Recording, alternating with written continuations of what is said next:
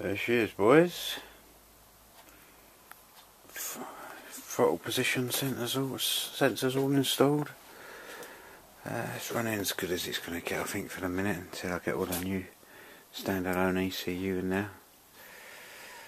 But yeah, put the new tax disc in now, now that I arrived the other day.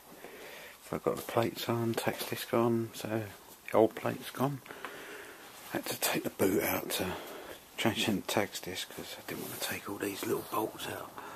All them little ones there. So I just had to, otherwise I'd only drop all the bolts down there. And, but while I had it out, I had to just install the little diff catch pot.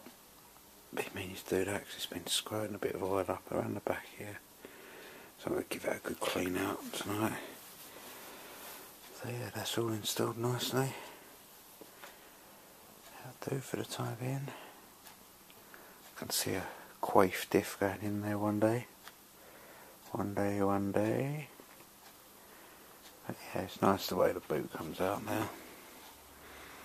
Boot just comes out now, but yeah, there she is. Next work logs are probably going to be about the doors. Little sneak preview there.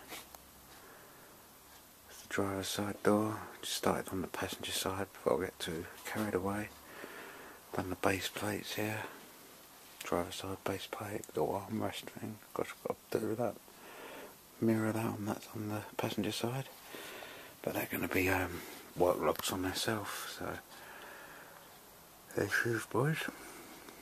think it's going to be a rainy day tomorrow. Can't see me getting down by a toner unless the sun's out in the morning. And uh, but she's looking rainy, so might be a day in working on the car.